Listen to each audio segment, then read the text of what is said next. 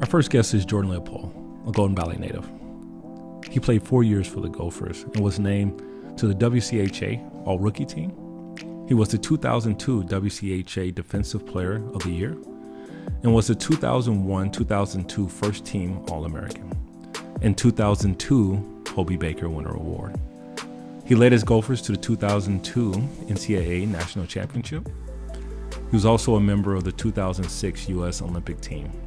Jordan was drafted 44 overall by the Mighty Ducks of Anaheim in the 99 draft. He played 14 years, ending his career as a Minnesota Wild. Please welcome M Club Hall of Fame member Jordan Leopold. Our next guest is Paul Martin, an Elk River native and Mr. Hockey alumni.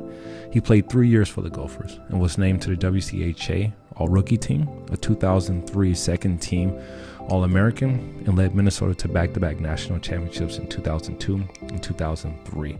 He is a three time member of the USA Olympic team, drafted 62 overall by the New Jersey Devils in 2002. He played 14 seasons, reaching the playoffs in each of those seasons. His Shine the Light Foundation raises awareness to reduce the stigma for those affected by bullying, depression, mental health. He's currently an undergrad assistant for the Gophers. Please welcome Paul Martin.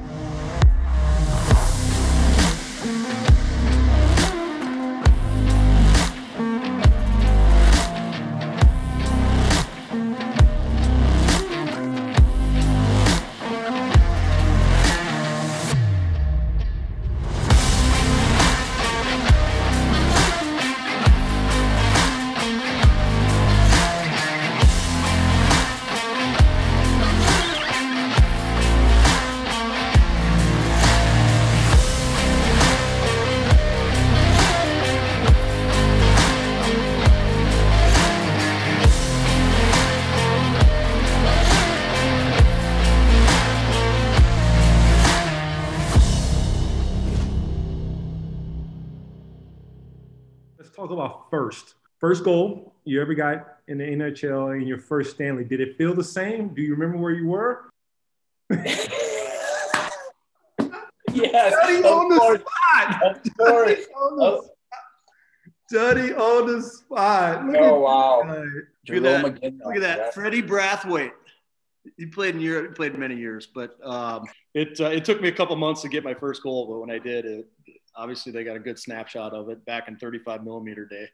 Um, and, and it was assisted by a Hall of Famer, uh, Jarome Iginla, and another guy that Paulie actually knows. He played with his brother, Rob Niedermayer. Pretty neat. And you know what? They always give you a nice plaque every time you score a goal with a new team. So I played with more teams than Paulie. I got a lot of plaques.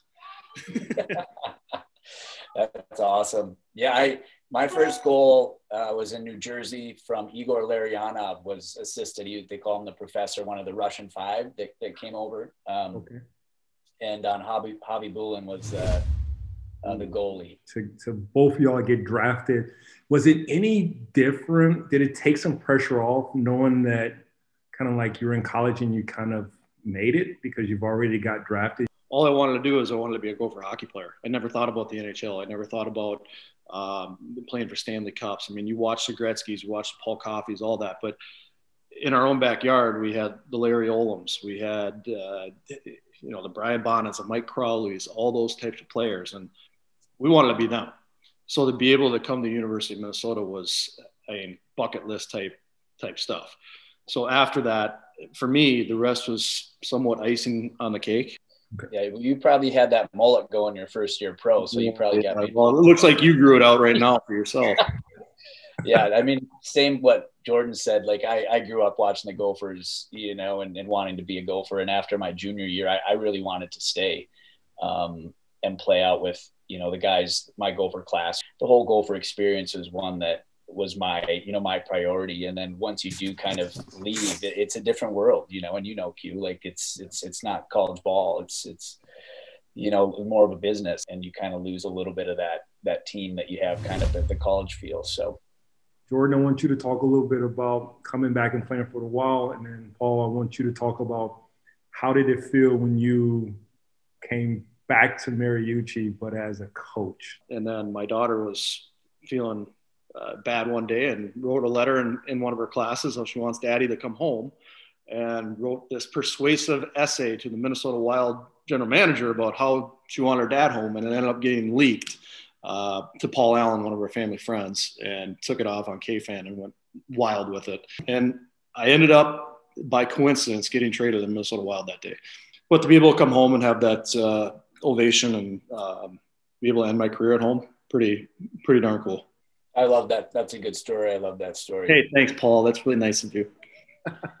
and with everything going on after I retired, uh, I talked to Coach Motzko, you know, how just if, if he needed somebody, and he said, "Yeah, we'd, we'd love to have you." And like for me now, it's like I don't really know what I'm going to do. The last year have been kind of a transition phase to kind of get in touch with myself and figure out like you know who I am, what direction do I want to go in moving forward, and I'd love to see if coaching something for me. And so just to come back, and we talked about the experience I had at the U earlier, and um, hopefully just to come in and get to know the guys and provide a similar experience like the coaches did for me. And so especially to come back and, and be with the Gophers and, and uh, where I have so many great memories, it's been pretty cool and special. So I do appreciate both of you and, and just so, so happy to have y'all in our record books and, and to be Gophers. And um, it's one of the reasons why, you know, we love this place is, we, you know, all the great people that, that played here and went here. So, so thank you. Um, can't wait to, to see you in in uh, in person. So, like I close all these, go Gophers and Ski-U-Mah. Ski-U-Mah. Thanks, Q. Appreciate it. Go Gophers.